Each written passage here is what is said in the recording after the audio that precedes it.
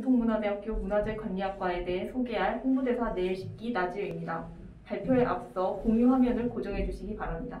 그럼 소개 시작하겠습니다. 먼저 목차입니다. 문화재관리학과란 어떤 학과인지 알아보고 교육과정 소개, 졸업 후 진로, Q&A 순으로 진행하도록 하겠습니다. 문화재관리학과란 문화재의 현대적 가치를 재발견하고 미래지향적 보존 방, 문화재 보존 방법을 탐구하며 문화재에 대한 종합적이고 체계적인 지식을 갖춘 문화재 전문 인력 양성을 목표로 하고 있습니다. 우리 학과는 문화재 정책 및 기획 능력, 행정 운영 능력, 해석 및 활용 능력을 갖춘 인재 양성을 목표로 하고 있습니다. 미술사, 고고학, 문화재 보존학을 포괄적으로 다루고 있는 타 대학의 문화재학과와 달리 문화재관리학과는 박물관학, 문화경영, 법, 제도, 행정, 활용 기획과 같은 전문적인 문화재 관리를 위한 체계적인 커리큘럼으로 구성되어 있습니다. 또한 우리 학과 우리 학교의 문화재 보존과학과와 문화재 관리학과의 차이점에 대해 궁금해하시는 분들이 많은데요. 문화재 보존과학과는 과학적 분석, 진단과 보존 처리, 예방 등과 같이 문화재의 과학적인 보존 방법을 연구하는 학과라면 문화재 관리학과는 문화재의 문화재를 사회과학적인 접근을 통해 문화재를 보존하기 위한 방법을 연구하는 학과라는 점에서 차이가 있다고 볼 수 있습니다.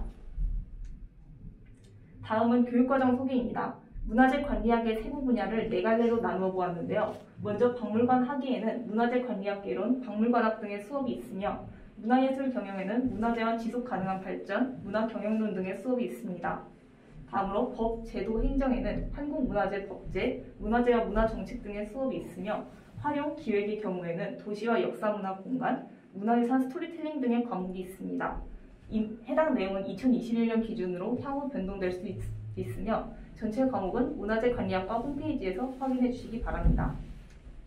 다음은 실습입니다. 실습은 직전 학기 성적 3.0 이상, 4학기 이상 이수환자에 한해 가능한데요. 두 가지 유형으로 나뉘고 있습니다. 먼저 학기제는 학기 중에 실습이 진행되며 15주 동안 18학점을 취득하실 수 있습니다. 또한 계절제는 방학 중에 진행되며 4주 동안 5학점, 7주 동안 9학점을 취득하는 형태로 나뉩니다. 실습은 문화재 관련 공공기관 및 사기업, 예를 들어 국립고궁박물관, 한국문화재재단과 같은 곳에서 진행되고 있습니다. 해당 내용 또한 2021년 기준으로, 지, 기준으로 향후 변동될 수 있음을 알려드립니다. 다음은 졸업 후 진로입니다. 문화재 관리학과를 졸업하고 나면 국가 및 지방자치단체의 문화재 관리 담당 공무원, 박물관 연구소의 학예직 공무원, 한국문화재재단, 국립박물관 문화재단과 같은 문화재 관련 공공기관, 백제세계유산센터, 지역의 문화재단과 같은 문화 관련 재단 및 사회적 기업과 같은 민간 조직으로 나가실 수 있습니다. 또한 문화관광 분야, 문화, 문화예술 기획, 문화 콘텐츠 등의 분야로 나가시는 분들도 계십니다. 다음은 Q&A입니다. 자주 받는 질문을 세 가지 골라보았는데요. 이에 대한 답변을 간단히 드리면서 문화재 관리학과에 대해 더 자세히 알아보도록 하겠습니다. 첫 번째는 입시에 도움이 될 만한 활동입니다. 먼저 추천드리는 활동은 문화재 이슈 파악하기입니다. 문화재 현장의 새로운 소식이나 문제점, 행사 등을 정리하고 자신의 생각을 덧붙여보는 활동인데요. 다양한 정보를 접하고 다양한 접할, 정보를 접해보는 것은 훗날 문화재 관리학과에서 큰 도움이 될 것이라고 생각합니다. 또한 두 번째 추천 활동은 문화재 관련 교내 활동입니다. 문화재 관련 자율동아리 활동 외에도 글로벌 역사 외교대사, 글로벌 독도 홍보대사, 문화유산 채널 영상 공모전 등 다양한 홍보대사, 서포터즈, 공모전, 기자단 활동 등을 하시길 추천드립니다.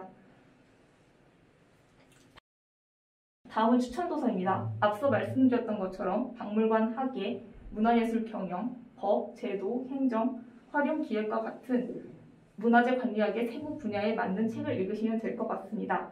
자세한 도서명은 네이버 홍보대사 블로그에 추천 도서 포스팅을 확인해 주시기 바랍니다.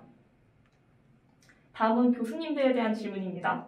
문화재 관리학과 홈페이지의 교수 소개란에는 교수님들에 대한 담당 과목과 양력이 정리되어 있는데요. 교수님들에 대한 정보가 궁금하신 분들은 이 부분을 참고해 주시기 바랍니다.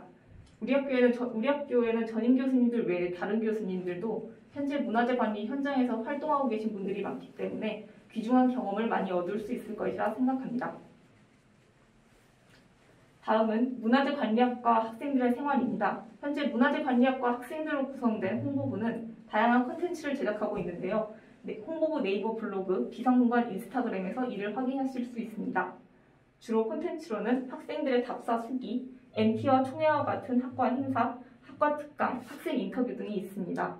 또한 홍보대사 네이버 블로그에서도 문화재 관리학과 포스팅이 다양하게 있으니 이를 확인해 주시면 좋을 것 같습니다. 이상으로 문화재 관리학과 소개를 마치겠습니다. 감사합니다.